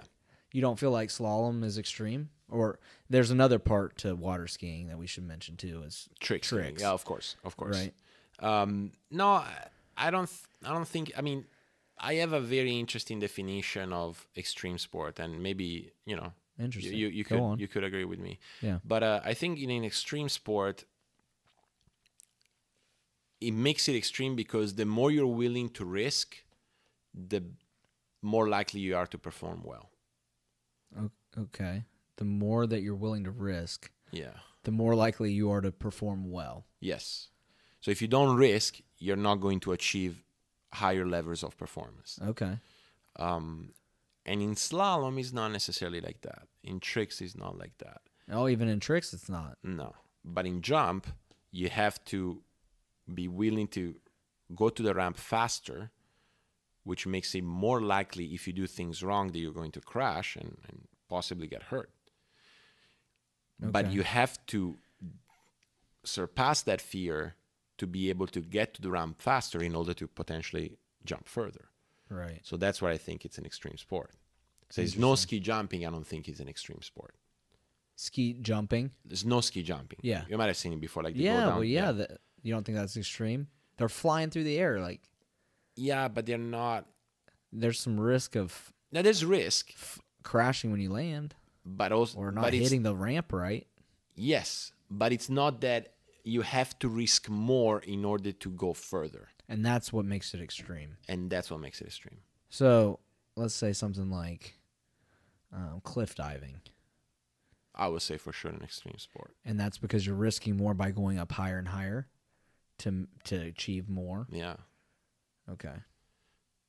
Because I would think that um, your boat's going 36, but you're going, you said 65, 70 miles Someti- an hour sometimes. Yeah, at the peak, yeah. that sounds pretty extreme. And you're picking up G's, bro. Yeah. I mean, that sounds extreme to me. Like, uh, okay, But if I go not- out there right now Yeah. and you pull me and I get up and I'm slalom skiing and it's like a big smile on my face, you know, I might even cross a wake. That shit's not extreme, right? No, I'm just out there. I'm Yeah. I'm slalom skiing. It's Yeah. fun. It's cool. But now we start adding some speed and I'm trying to catch buoys, Yeah. Turn buoys. Yeah. turn buoys. Um, that's gonna be start getting more extreme to me because now I'm taking the risk of trying to cut. Yeah. No, I mean, now I'm taking the risk of trying to do something other than just skiing. hmm You know, I don't know. hmm That's what it seems like to me. Yeah, but yeah, I- I don't, I don't know. I don't, I don't think it fits. The, I mean, it, it's a fun sport. It's It there's a- looks extreme, extremely fun. It is extremely fun, but I don't know it's an extreme sport. Like so, you don't have to risk. Say you're someone that runs, say like me, like two buoys at 41 off. Yeah, It's not that in order to run four buoys, I have to put myself on the line and risk more. You see, okay. Whereas in jump, Yeah, go on. if you're like a say a 180 feet jumper, in order to jump say 200 feet f- far, like you have to turn later and cut harder and get to the ramp faster. So the the danger factor increases, right? Okay. Yeah. Um, so that's why I think it's an extreme sport. So, all right. But it tricks, you're not like trying to do riskier jumps or, tr- or like not no, jumps, like you're, you're doing harder things. Like it's like gymnastics. So you're doing Right. harder, f- you know, somersaults, harder spins. Um, so yeah, I don't yeah. know. Some of that shit with gymnastics seems pretty extreme to me, but I mean, Yeah. But yeah, so no, jump definitely unique. yeah, Unique. interesting. So, uh, going back to one other thing, and it was a question that I had written down. So, Okay. um, adrenaline. You mentioned there's a lot of adrenaline from Mm-hmm. jumping. Do you get adrenaline from running courses at 36 miles an hour uh, with behind a boat going 36? For miles? sure, for sure. You still get some adrenaline. yeah, I think I got a little bit used to it now, you know. Okay. Um but in terms of emotion and stoked, you know, for sure. You know, when I do but it's it's different, you know, like it's more I do I ski a pass that is really clean or like technically I hit some of the keys that I wanted to hit. And the pass so you're talking post run. I, it kind of in in between. You you feel it as you're doing it. You're like, okay, I'm doing it right, you know. But also as I finish the course, I'm like, yeah, that was that was good. That doesn't sound as much like adrenaline to me, though. That's what I'm saying. Like I, I think I got used to it, you know. Um, but no, like you, you certainly have rush rushes of emotions when you when you're doing things right. yeah. You know. Well, I mean, emotions like of being like pleased with yourself, right? Like having that bliss of maybe flow, Yeah, yeah. being in if you, flow state, I mean, it's rare like in any other sport, but Right. yeah, well, sometimes you have it. right? But I'm talking about like, oh shit, this is an adrenaline rush, you know, like, or I'm a little scared. You never feel that kind of nerves, like I'm about to do, you know, No. 41, o- like what is that? How many meters again? 10 10 to and 5. 10 and 10 and 10.25. And I actually have to go 11, you know, I have to make up for 11 and three quarters, 11 and a half. 11 and a half. Yeah. And, you know, that's not a, like, oh shit moment. Like, because I think I would be like, oh shit, I'm about to really try to stretch my body out, take this curve, Yeah, you know, and come back around, whip myself back around. yeah, no, it's it's awesome, you know, like, but Not adrenaline rush. not adrenaline. Not like you're doing a roller coaster. no, no, no, but jump, Right. jump is like doing a roller coaster. Okay. that's like, oh, I like- see. I, like I'm a novice. I I just assumed that every time you were going to run these things, you're getting a little bit of an adrenaline rush. nah, No. maybe not anymore, or maybe, or maybe I do. I, I don't know. That's a good question. Yeah. I honestly don't know. Um, I wonder. I mean, like across the board, if other skiers kind of get, because I'd imagine it's different. Like if you're about to do for the tournament, you know, you're about to do a runoff. That's more like nerves, though. Yeah, it's that's more like, like an nerve. adrenaline. Like oh, like I'm about to compete here. Yep. Here's some pressure. Here's some, rather than adrenaline from the actual act of skiing. Exactly. So that first kind of like nervousness, you know, in, intensity of focus, that's a constant thing in water skiing. That's ever present. Yeah. No matter the event, slalom tricks or jump, wakeboard, I don't care. It's ever there. In tournaments, not in practice. Also in practice, Really? when you're pushing yourself to the limit, like Okay. you know, um, 41 office, for me, say, or 22 off for someone else, or 43 off for someone better than me. Like th- those are intense focus moments, right? Mm-hmm. Like, and, not taking those lightly. no, you don't take that lightly. Right. You know, it's like when you're trying to do like a max rep in, in on you know at the gym. You're getting psyched up. You're getting psyched up, but you're also like really you know Right. focused. Yeah. You know, same as in skiing. Right. Um, You get psyched up before you ski? Ever hit yourself? no, I don't. Hit no, not not that. Uh, you know, Okay. monkey brain psyched up, Yeah. but uh, Oh. but no, I, yeah, of course, Accurate tournaments. description of me in the gym. Yeah. but no, yeah, I, I do, I do get psyched up, you know, Nice, before tournaments or like today. Say today, I just came back from the lake. Right. I was at the lake today, perfect lake, super flat, friends around, you know, no wind. I was feeling Oh, Beautiful good. day, by Beautiful the way, day. in Tallahassee. So yeah, I mean, I was psyched. psyched I was stoked to ski for sure. Yeah, that's tight. You know, Yeah, yeah. nice. Where are we at? I mean, I got I, Now I we're can 20. I can save words for next time. Um, obviously, we're not going to do all these words. Oh, you, you had a I lot have of words. I have at least 250 words. oh my god, what's this like the, the SAT? yeah. I'm fucking with you. I don't know many. Well, I do have that many words probably in my head that I can Yeah. just start pulling from if I ran out. What about jolly? Um, wow. Um, how how would I describe it? Like uh, mm, growing up for me, you know, like that's where I would spend my summers. That's where I got out with two skis and I got to run 39 off. You know, like that's where I grew as a skier uh, and as a person, really. Yeah, Like my coach is my second father, you know. that's awesome. So, so yeah, no, that's to me is like, uh, and now it's tradition, you know. But personally, personally, is like kind of growing up, um, Yeah. like what brought me to be the skier and the person I am today. What do you mean tradition? Well, because now we, you know, the the club has been open since '93, so you know they, they've raised a lot. Of, we've raised a lot of athletes, a lot of competitors.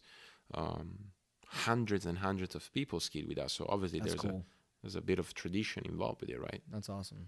Um, And you're starting. I mean, starting a tradition with the tournament. Oh, yeah, Obviously, of course. Six years in, that's and that's only the pro tournament. Like we started doing tournaments in the late '90s. oh wow, You know, so we've been doing tournaments for a long time. that's awesome. Now you said something. I just want to clarify. You said you did two skis at 39 off. No, no, no. I did at Jolly. I went from learning how to ski on Oh. two skis when I was like seven or eight until you know running 39 off. Okay, okay. There's no way you can run 39 off on two skis. Okay, I was about to say that's. no, uh, no, there's no way. Can you do any? Can you do any skiing um, buoys with two skis? Yeah. it's possible. It's very possible. And in fact, when you asked about how would you start someone, Yeah. my coach started me with two skis, and then I had to learn how to run the course with two skis before I could go on with Oh, one. wow. Yeah. So if I went out to Lake 38, you know, Yeah. next weekend, next weekend I got a shit ton of homework. I can't do stats and stuff. Um, the weekend after, Okay. and um, said I want to run the course with two skis, you would be fine with that, or you'd be like, nah. Bro, No, we like, can try. No, no, for sure, for sure. If you want to do that, we could. But I think you, we go for the challenge. Not Well, that yeah. the course wouldn't be a challenge enough, but Oh, we go for the challenge of one ski. Well, can I start with two just to yeah, to yeah, to get yourself confidence? Of course, like, get of myself. course. It's gonna be cold, man. I got wetsuits. Don't worry. So you ski in wetsuits during the winter. Yeah. because I actually been I've talked to a couple of people about me doing this podcast, and the and they were saying how like oh he's about to shut down, and I'm like no he skis in the winter, Yeah. And they couldn't believe it. And I was like, I'll cover this on the podcast for you. so You've been promoting this I before have. it even happened. That's have, awesome. Yeah. So I want to know, like, is it just you that ski and Dane that skis? Because I know Dane does like he skis on ice, right? Well, I mean, he break. Yeah, In there's people that break ice to ski. Yeah. yeah, And Dane's Dane's the man. He's a maniac. He'll do he'll do that shit. yeah, yeah, He did it. Yeah. But do other people other than you and Dane do that? Like Does, breaking. does Freddie ski on ice? Freddie used to break ice to ski. Whoa. Yeah. Okay. Well, UK we already discussed he's Yeah, a he's different pretty- level Yeah, exactly. human, anyways. So. Well, but that, at the end of the day, that's why we all live in Florida because we don't want to do that, right? Like, We want to see. well, we're kind of South Georgia here, but yeah, I mean, know, but Yeah, I mean it is Florida. it's Florida. Yeah. So, I mean, but, but let's not let's not lie to the people. It got it's down in the 30s here. No, it's not. It does sometimes, not Oh, right it- it now, does, but it, does. Yeah, and when that happens, I'm not gonna ski. You're not? No, Okay. I mean, if, Okay. unless I'm preparing for a tournament, I'm not gonna. okay. Not gonna What's ski the coldest you've skied in? probably water 38 air 38 40. Woo! yeah and that's nothing compared to others is nothing crazy yeah What do you mean? Uh, people Like i mean like Dane, like, Dane? and and freddie and them yeah. Yeah. Oh, they've you think they've done colder? oh for sure for sure like i've heard stories of dane skiing when it was snow outside you know yeah What I mean, he's an Ohio boy. So. yeah exactly no no for sure but yes to to feed the curiosity of your friends that wanted to know if i'm skiing in the winter Right. i'll ski for a little bit more Oh, you're about to shut it down. Yeah, but not because of the weather, just because it's nice to take a couple of months off, Okay. regroup. Okay. The weather's not the deterring factor, really. No, not the main factor. Do you ever get the itch in like January and you're like, I'm gonna go fucking Yes, ski. I I don't give a shit. yes, I do, and it's cold, you know. But I do That's it. that's like my mom will golf and there'll be snow on the golf course. I'm like, you have problems, you know. Yeah, yeah, so, but she's just like, I need to golf, you know. I- yeah. wa- Water skiers are like that a lot. Yeah. yeah. You get the itch. you yeah. And uh, when you go out and do something like that, do you run buoys or you just kind of get behind the boat and kind of ski and just Well, if I could, I wouldn't be skiing buoys. wait? What? Like if I was in a body of water that was big enough where the course wasn't in, in the middle, Yeah. I would just free ski. With one or two? Oh, one ski. Do you ever ski with two, or is that just stupid now? no, no, sometimes I do. Yeah, You do. yeah, it's fun. Okay. But uh, I mean, it's a bit it's a bit of a different thing, right? Yeah. I, yeah. I used to do a lot of it when I was jumping because obviously jumping is with two skis. and So- tricks, right? Trick is one, Oh, it is. trick is one. Oh, yeah. okay. Um, but jump is two, and so you do a lot of like drills with two skis without the ramp, like to really become damn good on two skis. You know? Gotcha. Yeah. Gotcha. But so sometimes you'll go back to two, but But mm, now, Very rarely. very very rarely. Yeah. and you wouldn't do two at a course. If there's a course, you're gonna run one. Yeah, although sometimes, you know, actually, if you give me some nice two skis, I'll probably run the course as well a little bit. Really? Yeah, not at 36 miles per hour, Right. but, you know, like at Yeah. 24, 26. Yeah. It goes back to just fun, Yeah, yeah. something different. There's a lot of things that you can do behind a boat with Mm. skis or, or similar, you know. It's a, Yeah. it's a good lifestyle. It's Yeah. a good lifestyle. Yeah. I mean, I miss skiing. What two? I mean, like, I don't Yeah. really miss biting the dust with one but- repeatedly, taking in loads of water, and this is this is some suspect lake water up in Ohio, wh- you know, where I'm from. So Right. you didn't really want to ingest a whole lot of that. Whereas Lake 38 is beautiful, It is. and if I ingest some of that, I'll be fine. okay. you know. okay. So, getting people started skiing, you basically get them out there, two skis, Mm-hmm. and then kick up one off, or you're like, let's get you up with one. No, first you learn. I mean, personally, I like to get the kickoff. You, You, do. know, like, yeah, so there's no shame in that. not at all. Okay. Not at all. Okay. because you're sort of bypassing the starting of the water we want, which is a bit of a next challenge, Right. whilst getting to ski with one ski. Right. Like you're actually riding behind the boat with one ski. Yeah. But then the natural step after that would be like deep water start with one ski. So if I wanted to use one leg and just like kick my foot off and just kind of hold my other legs instead of putting it behind me, Mm-hmm. would that be a disadvantage? Yeah, like you wouldn't be. I would just think it's because when you bring that one foot behind, it gets kind of. That's when it gets swirly. I Yeah, would think if you were just kind of holding on to one, throwing your other foot up there, it'd be.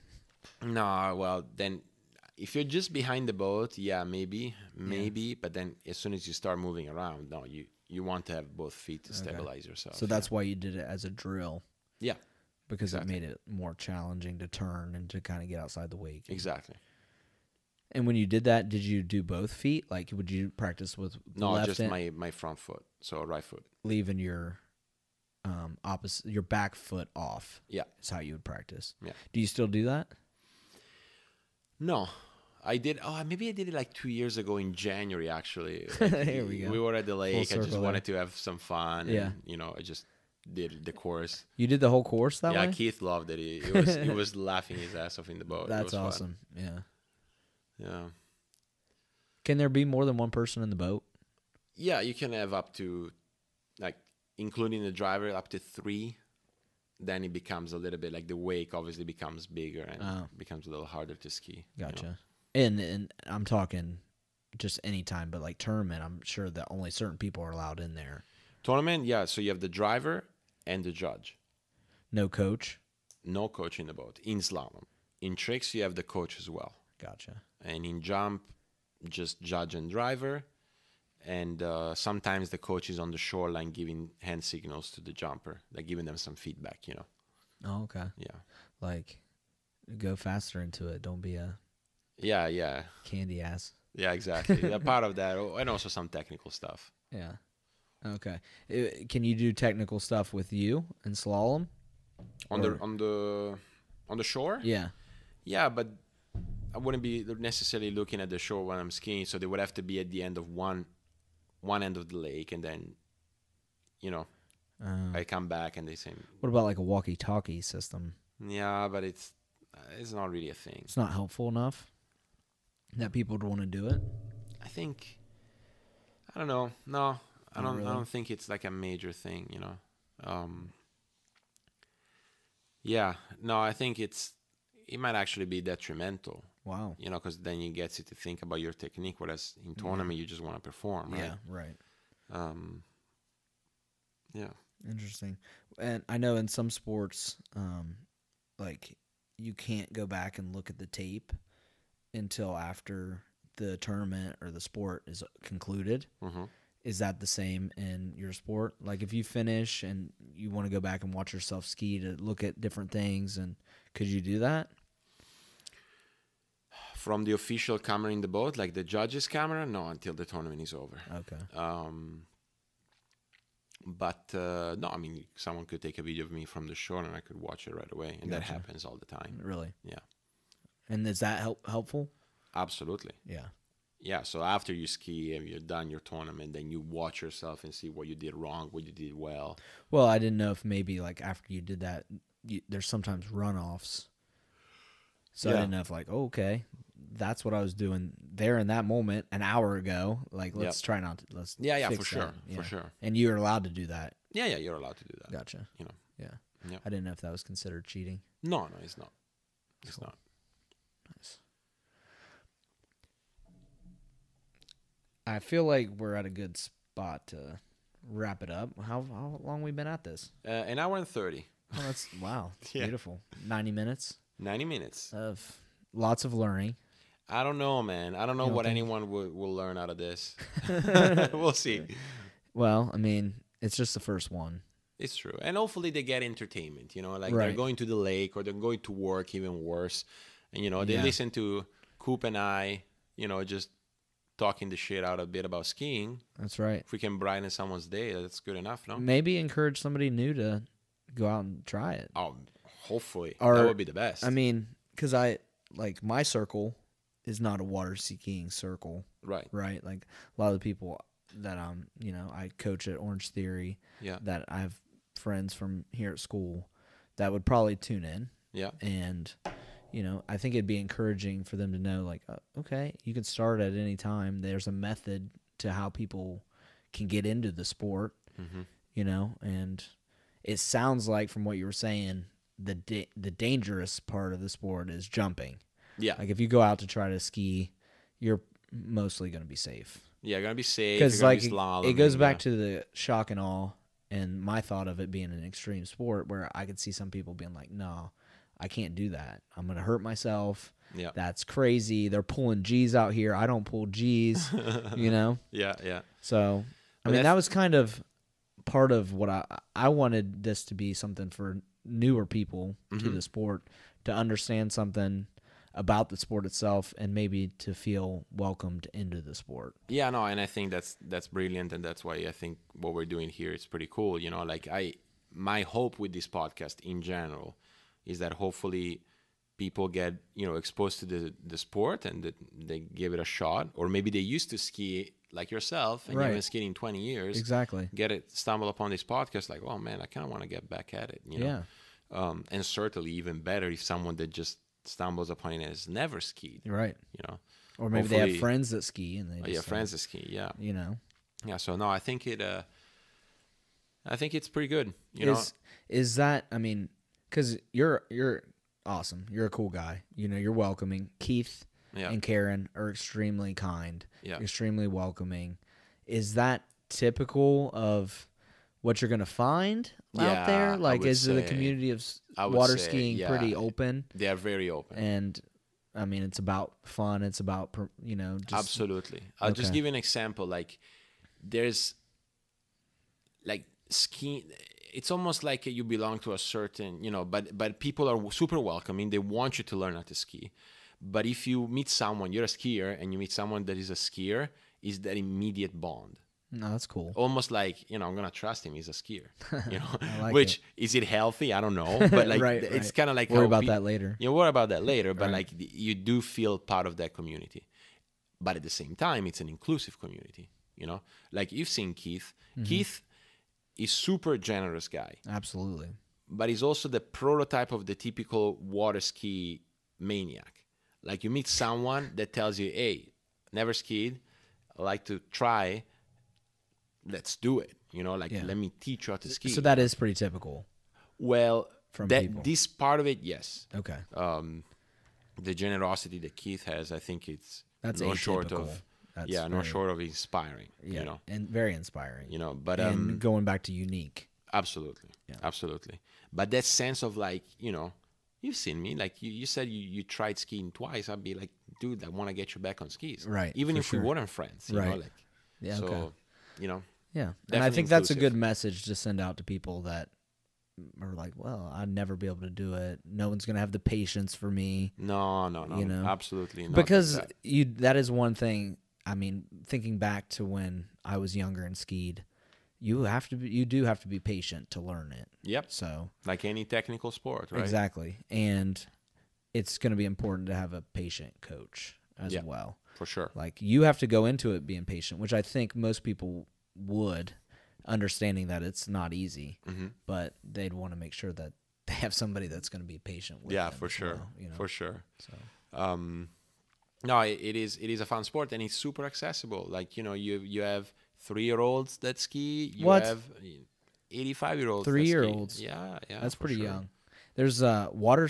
There's wa- uh, squirrels that can water ski. as well, Yeah. if you've ever seen it. yeah i have it's Yeah. depressing that that's the most viewed video about water skiing Really? on youtube yeah Is it really? squirrel, A yeah squirrel. That wa- Yeah. squirrel can water ski. yeah yeah it's pretty depressing but um but the second most hits would be this podcast That well. There Yeah, we go. for sure. Yeah, I like that. you know Yeah, for sure. we're shooting a little high but you know Well, I mean that's what you got to do. yeah i know You got to set your aim high. We are, we are, and we're gonna continue to set it with this. Absolutely. I look forward to uh, hosting again. I appreciate you, the founder, allowing me to take over. What if I host the next time and you're you're here? Maybe we switch roles next time. What are you gonna ask me questions? Why, why not? I mean, I'm an open book. That's fine. No, well, yeah, we'll do it again. This is fun. Yeah, without a doubt. And then you know, as you said, hopefully someone gets something out of it. I think they will. Um, I, I see that you're pessimistic about it, but I don't know. know. I hope so. At least it was fun for us, you know. well, that's true. Yeah, I think that I think the viewers will realize how much fun we had with it. Well, they're not really viewers, listeners Yeah. will realize how much fun we had with it, and they'll have some fun That's as true. well. You know, That's true. because you can tell we're we're authentic about it. So We it's are. like we are. That's all. That's the most important thing. Not a lot of notes. I mean, yes, some stuff written down there, but that's very little. Yeah, I had it jotted in my iPhone like Drake. Drake puts his lyrics in his phone, so I thought, Wow. you know, I'd do the same. Sure. Prepared, but I didn't really need it too much, except for the word association, which we have words that will carry over to the next To the next episode. for sure. Sounds To the next episode, just like the Dre song. All right. Final words. Anything? Um, I I ain't got shit to say. Okay. Yeah, it was. I mean, I got a lot more to say, but we're out of time. Yeah, we are. I'll save it. I'll save it for the next verse. All know? right. Yeah. All right. Well, other than I appreciate you uh, allowing me to host. no, know, of course. Pleasure. Yeah. Anytime. Well do it again. without a doubt, Okay. it's got to happen again. I'm hooked now. So am I. All right. All right, signing off. Coop Diddy's uh, first episode, learning scoop water skiing with Coop Diddy. Learning water skiing with Coop Diddy. See you next time. See you next time.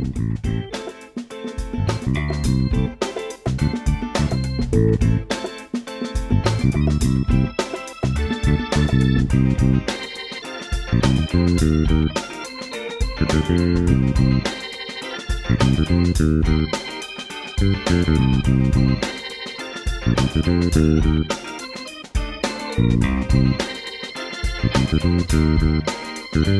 you.